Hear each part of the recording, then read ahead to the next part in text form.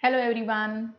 Welcome to the next lecture of lesson 3 of your main reader Hornbill. Discovering Tut, the saga continues. In our previous lecture, we have actually gone through the entire uh, lesson and tried to understand what exactly has happened in the particular lesson. Before uh, taking up the NCERT questions with all of you, let me have a quick recap of what we had done in the previous lecture. Let us begin with the title of the lesson Discovering Tut, the saga continues. Saga means a long story. एक लंबी कहानी तो टट को discover करने की, उसके बारे में जानने की जो एक कहानी है, एक लंबी कहानी है, वो आज तक कंटिन्यू हो रही है। वो जो एक दास्तां है, वो जो एक टेल है, वो जो इतने साल पहले शुरू हुई थी, वो आज तक कंटिन्यू हो रही है because there was a unique kind of mystery revolving around the personality of king Tut उनकी लाइफ जो है, वो एक बहुत ही डिफरेंट काइंड की लाइफ थी because he was a young pharaoh एक यंग किंग थे, एक टीनेज में ही वो किंग बन गए थे। उनकी जो डेथ थी, उसका आज तक नहीं पता चला कि क्या मिस्ट्री थी उसके बारे में। लोग बहुत सारी उसके बारे में अटकल पच्ची लगाने की कोशिश करते हैं गेस करने की कोशिश करते हैं but they have not been able to actually find out the reason of his death The theme of this particular uh, lesson is that we should respect the traditions and rituals. Yes, science of course is important in giving evidence about the past events, but at the same time we should make sure that we set some limits. We should not allow science to go overboard and uh, cross the uh, boundary just because of curiosity of certain people. किसी की भी curiosity को, उत्तेजना को शांत करने के लिए, उनकी एंग्जाइटी को शांत करने के लिए हमें कुछ जो हमारे बने हुए ट्रेडिशंस हैं, जो हमारी रीति हैं, जो रिवाज हैं, जो परंपराएँ हैं, उनको हमें उनको लांघना नहीं चाहिए। उन, जो हमारे प्रिंसिपल्स हैं, उन्हें हमें तोड़ना नहीं चाहिए। और साइंस और ट्रेडिशंस का हमेशा से एक जो आपस में टकराव रहा है, क्योंकि जहाँ पे साइंस काम करेगी, वहाँ पे रैशनैलिटी काम करेगी, जहाँ पे कस्टम्स की बात आती है ट्रेडिशंस की बात आती है, वो भावनाओं की दिल की बात होती है। और अगर हम साइंस की बात सुनेंगे तो कहीं ना कहीं हम ठेस पहुँचाएँगे हर्ट करेंगे सेंटिमेंट्स ऑफ़ द पीपल को। यही बात इस पर्टिकुलर लेसन में हमने आगे सीखी भी है that when the um, the dead body of Tut was being removed, was taken out from the grave. उनकी जो मम्मी को वहाँ पे छेड़छाड़ की जा रही थी mummy is actually what? It is the dead body of the uh, very royal people जिनको uh, पट्टियों की तरह लपेट के खास तौर पे उनके ऊपर गोल्ड की एक कवरिंग चढ़ा के परत चढ़ा के रखा जाता था प्रिजर्व किया जाता था फॉर एवर तो उनको दफनाने से पहले उनको ममीफाई किया जाता था। तो इन सब चीज़ों को जब हमने किसी एक राजा को या किसी एक ऐसे बंदे को जो बहुत ही ज़्यादा हाई घराने को बिलोंग करते थे एक ऊँचे घराने को बिलोंग करते थे आ, उनको हमने अगर रीति रिवाज के साथ अगर उनको हमने बरी किया है तो उनको वहाँ से निकालना, उनके साथ छेड़छाड़ करना जो है वो उनके चाहने वालों के साथ, उनके फैमिली मेंबर्स के साथ, उनके फॉलोअर्स के साथ I think to some extent उनकी फीलिंग्स को हर्ट करने वाली बात होगी। इसीलिए हमारी जो स्टोरी है, उसके अंदर जो एटमॉस्फेयर क्रिएट किया गया था जो एटमॉस्फेयर था वो सैडनेस का एटमॉस्फेयर काले बादल हैं, अजीब सा सन्नाटा है हर जगह पर, मिट्टी, आंधी, तूफ़ान चल रही है। Not a very rosy environment because it is believe that even the divine the god and the supernatural powers are not happy to see what science and scientific people are trying to do with the mummies जो ये particular story है it has been set in the valley of the kings in Egypt ये valley of kings एक ऐसी जगह है जहाँ पे पिरामिड्स हैं। पिरामिड्स के अंदर ये डेड बॉडीज को जो है ममीफाई करके उन्हें वहाँ पर बरी किया गया है। Also, before we actually go into the question answers of this particular story, we need to keep certain points in mind because थोड़ा सा टेक्निकल चैप्टर है तो अगर हम एक बारी रिकैप लेंगे तो हमारे लिए आसान हो जाएगा बाकी चीज़ों को समझना।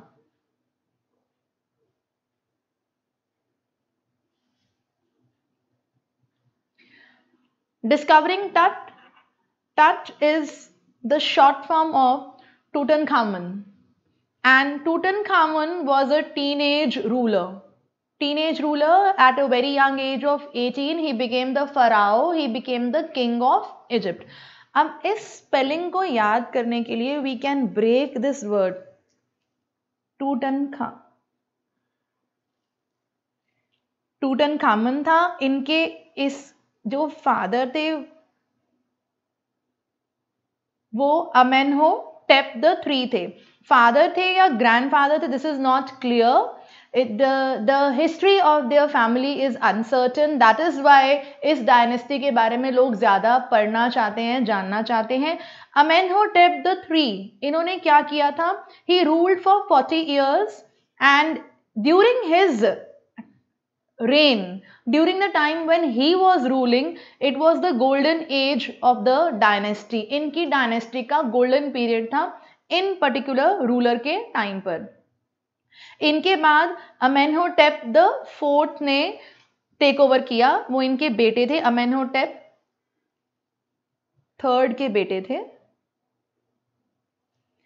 He was a wacky ruler a crazy ruler जिनकी जो भी पॉलिसीज़ रही हैं, जो भी उनकी थिंकिंग रही है, जो भी उनके प्रिंसिपल्स रहे हैं, उनका बेस आज तक लोगों को समझ में नहीं आया कि उन्होंने ऐसा करवाया क्यों। उन्होंने क्या करवाया? He attacked the images and temples of their majorly worshipped god जिस गॉड को सबसे ज़्यादा वर्शिप किया जाता था, उनके रीजन में उनकी डायनेस्टी जो इस गॉड को सबसे ज़्यादा फॉलो करती थी, लोग जिनको सबसे ज़्यादा मानते थे, जिनकी पूजा करते थे, उन्हीं गॉड की वर्शिप बंद करवा दी। उनकी सारी मूर्तियों को तुड़वा दिया, उनके मंदिरों को तुड़वा दिया। उन्होंने प्रमोट किया worship of Aten Aten is the god of the sun disc sun की जो डिस्क है, उस गॉड को वर्शिप करना स्टार्ट कराया। इनको फॉलो किया स्मेन खरे ने। ये एक रूलर थे जो बहुत कम टाइम के लिए इन्होंने रूल किया और कुछ भी ज़्यादा सिग्निफिकेंट चेंजेस इनके टाइम पर नहीं हुए। और इनके बाद आए टूटन खाटन इसको याद करने का तरीका ये है। टूटन एटन इन्होंने अपना नाम चेंज करके टूटन खामुन रखा। एंड टूटन खामुन कौन है? He is our Tut king Tut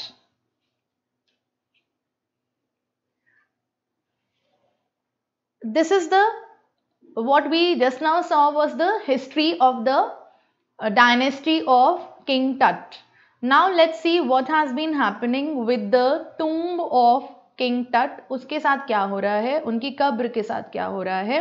In 1922 Tut's tomb was discovered by Howard Carter इन्होंने क्या किया? इन्होंने जो बॉडी थी उनकी, उसको कॉफिन में से बाहर निकालने के लिए we have already read in the story हम आगे क्वेश्चन आंसर में भी इसको डिस्कस करेंगे। It's a very important aspect from examination point of view उसको बॉडी को चिजल आउट किया, उसे काटा। क्योंकि बॉडी जो है वो गम से जो है, चिपक गई थी कॉफिन के तले से बेस से। और निकालते वक्त क्या हुआ, बहुत सारे जो जॉइंट्स थे टट की बॉडी के, वो सिवियर करने पड़े, काटने पड़े। 1968 में एनाटॉमी प्रोफेसर थे एक, उन्होंने एक्सरे किया मम्मी का, जो टट की मम्मी थी उसको, उसका उन्होंने एक्सरे किया और एक्सरे में उन्हें पता चला कि जो उनकी ब्रेस्ट बोन है और फ्रंट रिब्स हैं वो मिसिंग हैं। 2005 में जाही हफस की सुपरविजन में क्या हुआ? सीटी स्कैन हुआ टट का। टट की जो मम्मी बनी हुई थी, इसका it is the first mummy बहुत सारी ममीज का सीटी स्कैन प्लान था by these archaeologists this was the first mummy to be uh, to undergo the CT scan. No clue of his mysterious death was found out during the CT scan investigation. Now quickly move, let's move on to the textual questions, the NCRT questions. Give reasons for the following. King Tut's body has been subjected to repeated scrutiny. King that was a teenage pharaoh भी लिख सकते हैं और king भी लिख सकते हैं whatever word you feel you are comfortable with use that fine I have been pointing over and over again that let's try to use a little good vocabulary so that we can score better marks in the examination. However, you should remember the spellings correctly. अगर आपको फराव के spellings correctly नहीं आते आप incorrectly लिख दोगे तो again आपके marks कट जाएँगे हम वही spellings और वही words exam में use करके आएँगे जिनके साथ हम comfortable है और हमें correct spellings आते हैं so if you are comfortable with king, write king only. And if you can remember and learn the word pharaoh, then use pharaoh. When he died, the last heir of uh, इस word को हम hair नहीं pronounce करते इसमें h silent होता है of a powerful family that had ruled Egypt as its empire for centuries. To unravel, again another word, to unravel, to discover, to find out. आप कोई भी word use कर सकते हो जो आपको easy लगे. The mystery about his life and death, his body was subjected to repeated scrutiny. Next question. Howard Carter's investigation was resented We have to give the reason why. It's given here. Give the reason for the following. Howard Carter's investigation was resented why उसके बारे में लोगों ने बहुत ज़्यादा बातें करी और बहुत ज़्यादा उसकी अवहेलना करी कि it was not a good decision at all उनको ऐसी इन्वेस्टिगेशन आगे कैरी फॉरवर्ड ही नहीं करनी चाहिए थी अगर इतना नुकसान हो रहा था उस मम्मी का resented because the ritual resin had harden जो भी रिचुअल के समय, जिस समय बॉडी को दफनाया जा रहा था कॉफिन में रेडी किया जा रहा था दफनाने के लिए तो उस समय ट्री से निकला हुआ एक प्रोडक्ट होता है रेजिन उसको डालते हैं। उस रेजिन के सूखने से जो बॉडी है वो कॉफिन के नीचे वाले पार्ट पे जाके चिपक गई थी। This led to the cementing और sticking you can use any one word cementing का मतलब ये नहीं कि सीमेंट से चिपका दी it means to get stick to You can use either the word cementing or sticking of the dead body to the bottom of the coffin. As a result, he was forced to chisel away the body. He had to cut the body. He had to scrap off the body from the base of the coffin. This severed nearly every joint of Tut's body. Her part जो body का था dead body का, वो जो है उन्हें काट काट के अलग करना पड़ा। The mummy was in a very bad condition because of what he did इसीलिए उनके एक्ट को बहुत ज़्यादा दुत्कारा गया और बहुत ज़्यादा उसके बारे में बात की गई कि उन्होंने ऐसा एक्ट क्यों कैरी फॉरवर्ड किया। Let's see the next question. We have to give reason why Carter had to chisel away the solidified raisins to raise the king's remains. Now, this answer is quite similar to what we have just now done, but I have purposely tried to rewrite the answer to make you understand that there is one point which needs to be added here. Carter had to chisel away the solidified raisins to raise the king's remains. Remains means dead body because they had got stuck to the bottom of the coffin. They had been cemented to the bottom of the coffin. They had got stuck to the bottom of the coffin due to the hardening of raisins. Even after subjecting the body to long hours of intense heat, the resin didn't melt ये बहुत important है, ये हमने अपने पिछले answer में use नहीं किया था, वहाँ पे रिक्वायरमेंट नहीं थी। पर यहाँ पे रिक्वायरमेंट है कि बहुत देर तक बॉडी को धूप में भी रखा गया, लेकिन तब भी जो ये रेजन की गम थी, जो वो मेल्ट नहीं हुई और बॉडी जो है वो पुल आउट नहीं कर पाए Tut's body was buried along with gilded treasures. Gilded means gold plated treasures. So, what is the reason for this? In this particular answer, I have al already given the reason that why his uh, dead body was buried along with the gilded treasures, but जो gilded treasures नहीं थे और भी बहुत सारा सामान था जो डेड बॉडी के साथ जो है बरी किया गया था ग्रेव में वो भी हमने यहाँ पर इस आंसर में मेंशन किया है। क्यों? क्योंकि एग्ज़ाम में क्वेश्चन ऐसा भी आ जाता है that what were the things that were buried along with the dead body of Tut तो हमें ये सारे सामान का लिस्ट देना होगा। तो हमने एक कंबाइंड आंसर बना लिया, जो हमारे इस आंसर इस क्वेश्चन को भी आंसर देगा।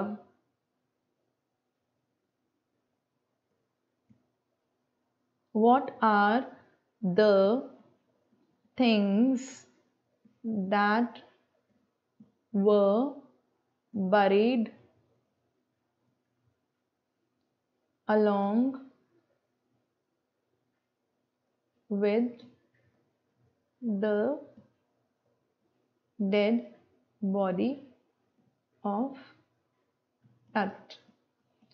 In this question, we are talking about all the things in this particular question which is there in our textbook we are talking about only the gold plated things Tut's body was buried along with precious collars, inlaid necklace, bracelets, rings, amulets, बाजूबंद हमने ये सारी की सारी list जो है जब हम chapter read कर रहे थे वहां पर भी रीड की थी so please pick up this list from your text a ceremonial apron, sandals, sheets for his fingers and toes.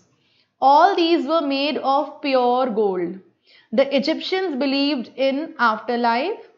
They thought that they could carry their treasures along after dying. This is the reason why all these things were buried along with him. They also buried things that may be required in day to day life, like board games, linen, undergarments, food, wine, etc. Now, the answer to this question, Tut's body was buried along with gilded treasures because the Egyptians believed in afterlife. They felt that they would require it after they die also. They can carry things in the next life. In two, two and a half lines may be answer बनता है but we have to see the word limit also. So in order to increase the word limit, I have tried to list the things that were buried along with the dead body of Tut. So we have to be smart when we are answering the question. We cannot say कि इस particular answer question uh, का answer जो है वो तो एक line में ही हो रहा है या दो लाइन में ही लिख सकते हैं तो हम इतना ही लिखेंगे because you are expected to adhere to the word limit तो वर्ड लिमिट तक पहुँचने के लिए आपको थोड़ी सी रिलेटेड इंफॉर्मेशन ये नहीं कि कहाँ से भी कोई भी इंफॉर्मेशन लिख दी रिलेटेड इंफॉर्मेशन एड करनी है। Let see the next question we have to give reason why the boy king change his name from Tutankhaten to Tutankhamun the boy king change his name from Tutankhaten to Tutankhamun in order to please the people by restoring the old ways of worshipping. Tutankhamun जो थे वो इनसे पहले जो ruler थे उन्हों वो जो गॉडेस ऑफ़ सन डिस्क को वर्शिप करने का जो एक चला था सिस्टम इसलिए उन्होंने अपना नाम ऐसा रखा रखा था लेकिन उन्होंने जब आमुन गॉड का ही वर्शिप स्टार्ट करा तो उन्होंने अपना नाम चेंज कर दिया he also wanted to propagate himself as the living image of Amun. He wanted to tell the people that he is the living God, Amun. और अमुन में ही लोगों की फेथ भी थी पहले तो वो लोगों के साथ एक अपन के मन में अपने लिए एक प्यार रिस्पेक्ट सिंपथी जगाना चाहते थे तो उन्होंने जो है वापस अपना नाम जो है चेंज करके टूटन कामुन रखा list the deeds that led Ray Johnson to describe Akhenaten as Waki. Akhenaten promoted the worship of Aten, the sun disk. He moved the religious capital from the old city of Thebes to the new city of Akhenaten, now known as Amarna. He attacked Amun a major god by smashing his images and closing his temples. ये जो change था ये जो change नेटन लेके आए थे इस change को वापस रिवर्स करने के लिए, वापस लोगों की आस्था उसी गॉड में जगाने के लिए, जिस गॉड में वो बिलीव करते थे, हमने अपना ऊपर वाला आंसर अभी देखा कि टूटन खाटन से टूटन खामुन उन्होंने अपना नाम टूटन खाटन से अपना नाम टूटन खामन कर लिया। Let's continue the next question the answer that we were doing He attacked Amun, a major god, by smashing his images and closing his temples. This led Ray Johnson to describe him as wacky. Wacky means crazy.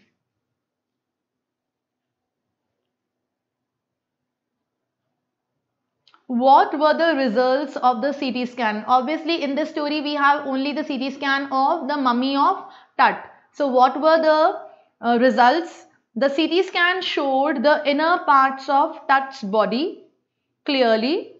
The skull, neck, vertebrae, hand and several views of the rib cage were seen हर part का अलग अलग angle से बहुत सारे views जो हैं सीटी स्कैन में देखे there was no error in recording the data in spite of the bad condition of the dead body ये बहुत इंपॉर्टेंट है डेड बॉडी को देखकर, उसकी कंडीशन को देखकर ऐसा लग नहीं रहा था कि एक प्रॉपर अच्छा ठीक सा सीटी स्कैन हो सकता है but he was able to do it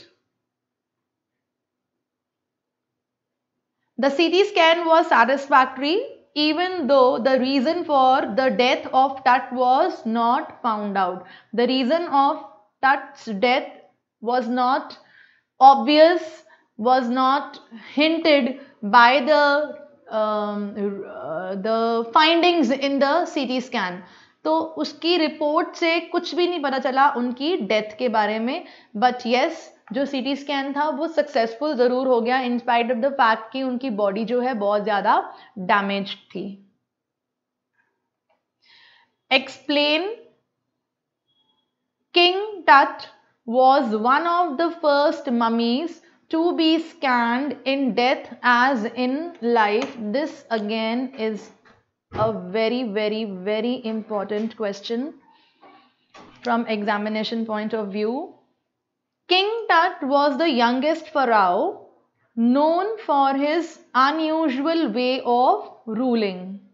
He was a powerful ruler. With his demise came to an end the dynasty which ruled over egypt for century so जब तक वो ज़िंदा थे, तब तक भी उनकी जो डायनेस्टी थी it was very famous and he was also very known for the way he ruled his kingdom at such a young age now after his death his mummy was drawing the attention of the archaeologists to solve the mystery of his death. अब death के बाद भी, पहले तो उनकी life ही बहुत विचित्र थी। अब जब उनकी डेथ हो गई तो डेड बॉडी में, उनकी मम्मी में भी लोगों को बहुत ज़्यादा इंटरेस्ट है। क्यों? His mummy was the first one to be x-rayed and undergo a CT scan, क्योंकि उनकी डेथ की मिस्ट्री को सॉल्व करने के लिए लोगों को बहुत ज़्यादा क्यूरियोसिटी है खास तौर पे आर्कियोलॉजिस्ट को। जब वो ज़िंदा थे तो भी एक बहुत ही ज़्यादा फ़ेमस लाइफ जी रहे थे और मरने के बाद his dead body was the first one जिसका एक्सरे हुआ। फ़र्स्ट वन जिसका सी टी स्कैन हुआ so he became another record holder the first dead body to be X-rayed and the first dead body mummy the first mummy to be CT scan dead bodies तो और लोगों की भी हो सकती हैं। कोई बीमार हो, उसकी उसकी डेड बॉडी भी हो सकती है। We are talking about the mummy which has been taken out from the grave और ग्रेव में से निकाल के उसका सिटी स्कैन हुआ है। That's the first mummy thus in death as well as in life Tut moved regally ahead of his countryman वो अपने कंट्रीमैन से हर तरीके से आगे निकले वेदर इन लाइफ और after death and made a mark for himself that's all for this session we have done the question answers of um, discovering that the saga continues all the major points have been covered in this particular lecture keep watching and let's look forward to have enriching sessions together in future too